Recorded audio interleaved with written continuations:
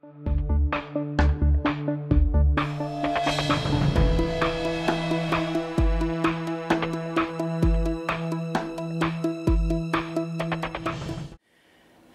everybody, how's it going? Stoudman coming back at you today. And um, I just got back from a little old place called Crypticon.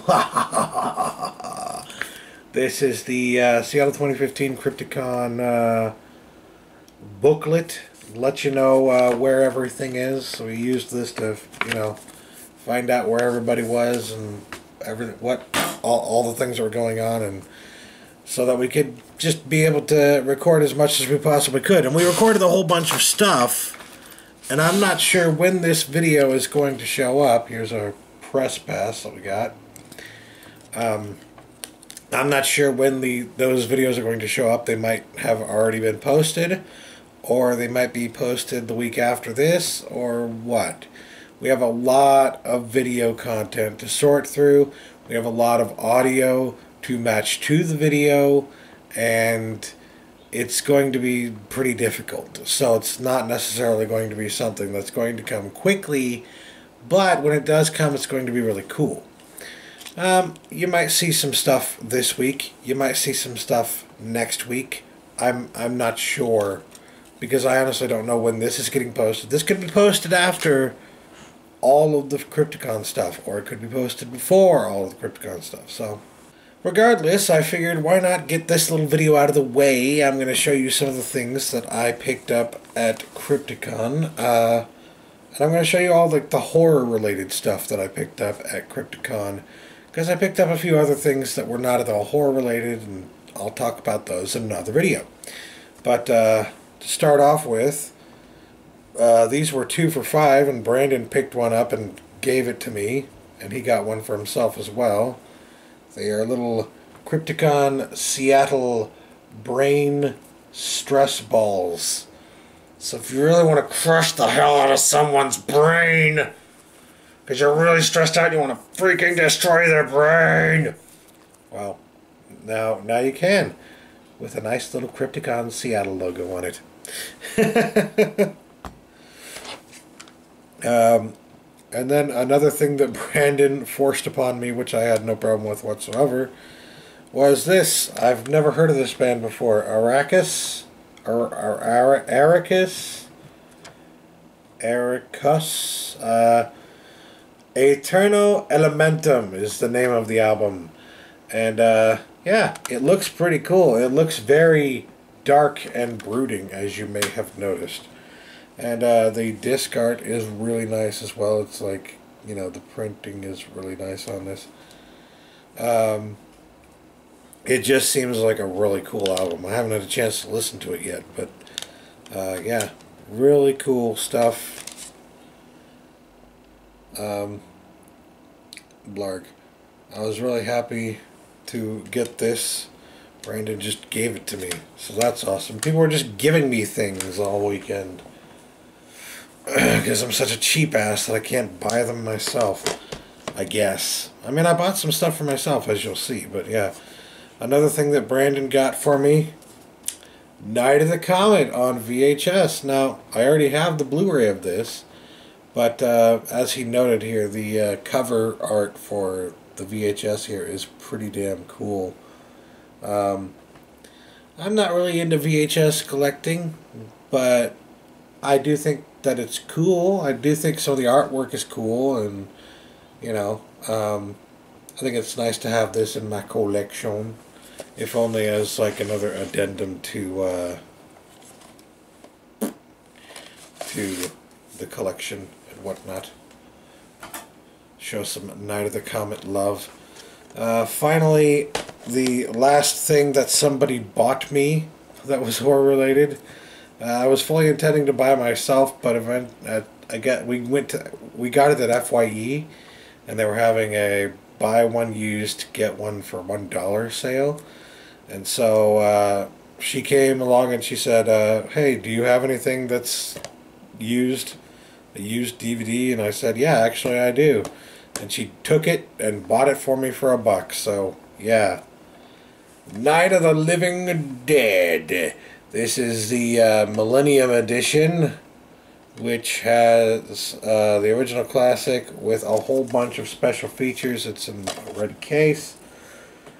Newly approved THX transfer, trailers and TV spots, dual commentary tracks featuring creator director George A. Romero and the entire cast.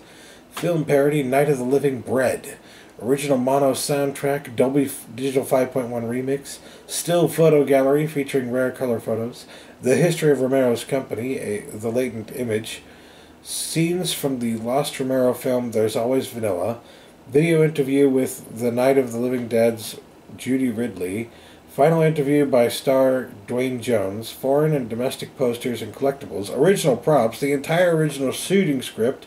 Cast members' for personal scrapbooks. THX optimizer to assure proper TV monitor calibration.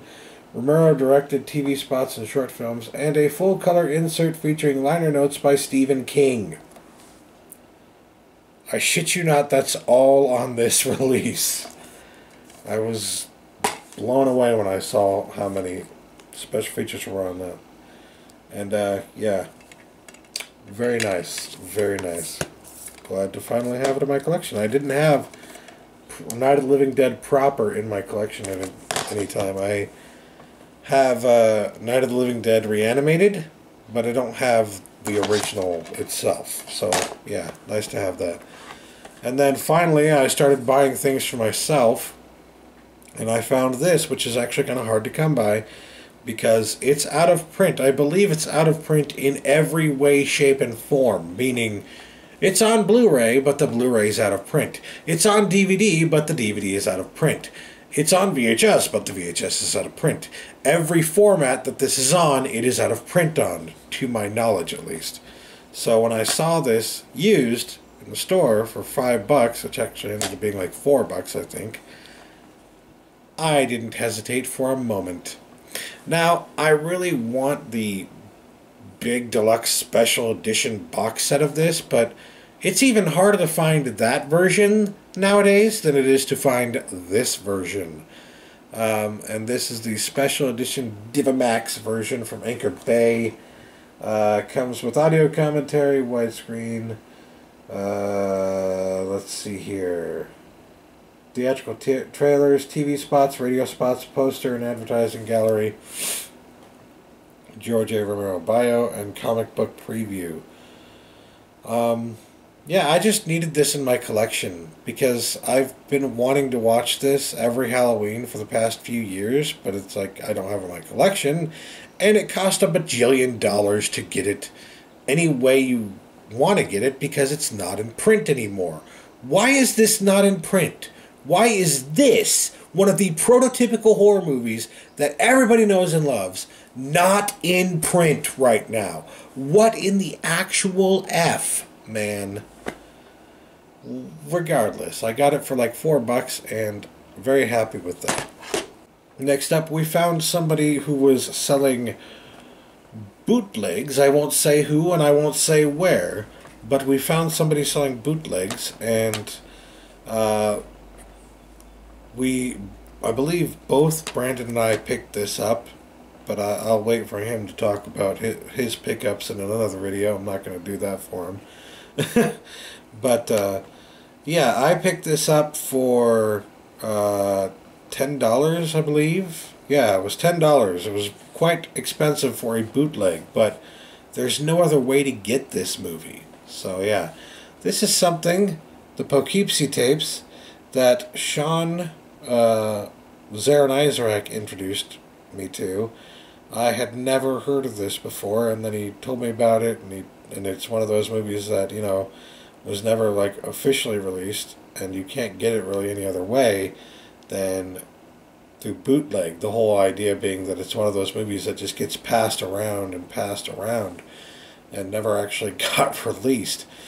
So, uh, lo and behold, when you open up the case here, it's it's literally the cheapest DVD-R you can find. but it's got a nice little case here. I really like this uh, cover art and whatnot. And on the back you can see some pretty nice artwork there as well and information as, as well. So, yeah, I was really happy to see this because, you know, it's one that I've wanted, but you can't get it. So, now to be able to have it in my DVD collection, even if it is a bootleg, well, that's just the way it's got to be, I guess. Now, if the original creator wanted to go to the lengths of actually putting it out of release, I would absolutely, absolutely pay for a legitimate copy of the Poughkeepsie tapes. But as it exists right now, I feel like it's kind of a part of the lore and it adds to the charm of this release, this bootleg, that um, it is something you can't get anywhere else. And it is something that you have to find through more, I guess, seedy means.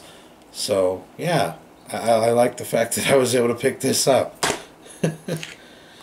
and then, last but not least, I picked this up primarily for the slipcover because the slipcover is absolutely gorgeous. 28 days later. I really like this slipcover. Uh, I didn't even know that it existed. And uh, there's the back for you. But yeah, I had not seen or heard about this slipcover at all. It's just got the basic release underneath.